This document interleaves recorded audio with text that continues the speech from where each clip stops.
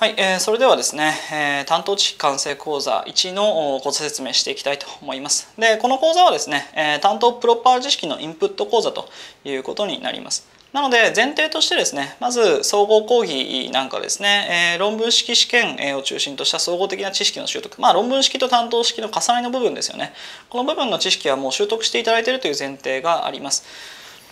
なので、まあ、そういう方が、まあ、プロパーの知識だけをインプットしたいと。そういうね講座になっているということですよね。はい、で、えー、この担当知識完成講座で扱うのは憲法民法刑,、えー、刑法の上三法ということになりますね。でその上三法の担当プロパー知識をインプットしていくと。大体時間数的に20時間から25時間ぐらいになるのかなというふうに思いますね。はい、で、えー、この講座の特徴をちょっと説明していきたいなと思うんですけれども、まあ、一つはね今お話ししたやはり講義時間の短さというところかなと思いますね。まあ、総合講義なんかでこう総合的な知識をインプット終わってると論文対策の、ね、知識のインプット終わってるってことが前提ですので本当にプロパー知識だけを埋めていくということでねかなりスリム化しているということですね。はい、あとね、まあ、もう一つあるのはやはり網羅性の高さなのかなと思いますね。かなり細かいところまでやっています。例えば民法のデテートとかねあのそういうところまでやっていますのでまああの受験生の中ではやっぱりその民法のデテートとかね、まあ、やりたくないなっていう人も多いんですよね。なのであとはまあ共同程度とかですかね民法でいけばねでそういうところはやっぱりどうしてもやりたくないなっていう人が多いんだけれどもまあそういうものに関してもですねこの講座では漏れなく扱っていますのでかなり細かいところまでやっているというふうにお考えいただければいいのかなと思うんですよね。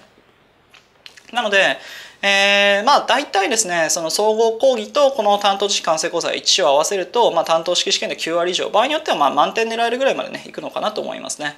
はい、なのでかなりまあ網羅性高いと思いますね。で、えっと、それからあとはですね、まあ、ちょっと分かりにくい部分になんかに関しては質問制度設けてますので、なので Facebook グループからですね、えー、質問していただければいいのかなと思いますね。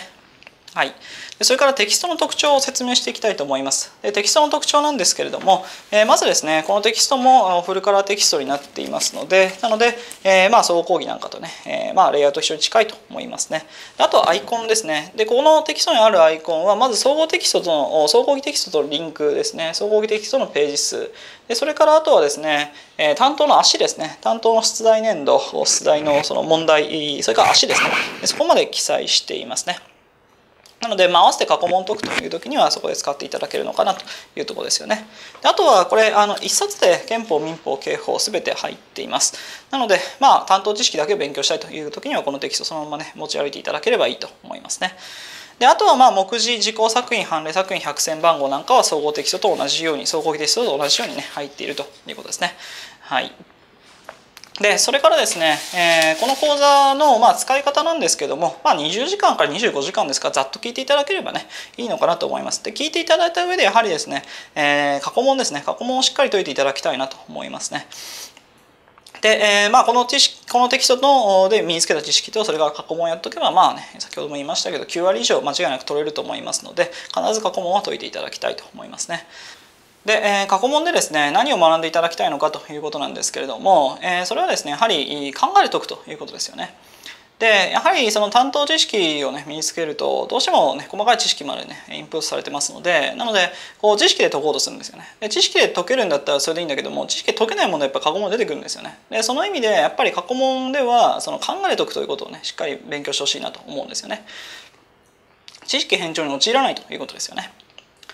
なので、まあ、本当知識のインプットはねこの講義だけで十分すぎると思いますので知識のインプットをまあそれ以上やると百選読むとか基本書読むとかね、えー、あるいは場合によってはコンメンタル読むとかねそういうことはまあ必要ないですからだから、